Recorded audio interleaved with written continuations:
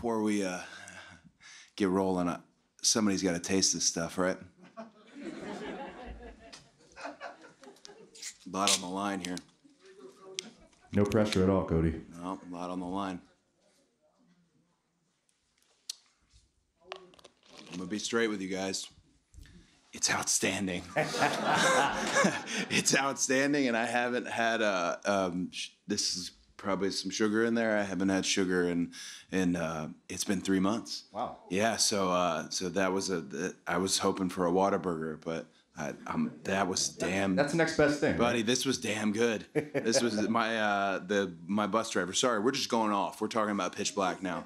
Um, my bus driver, he was just looking at all the advertisements and stuff, and he just said to me, he's like, you know, I I'm, I want one of those Pitch Blacks. I'm like, all right, man. Yeah, it's very good. We'll make sure you have you have a couple to take with you to go.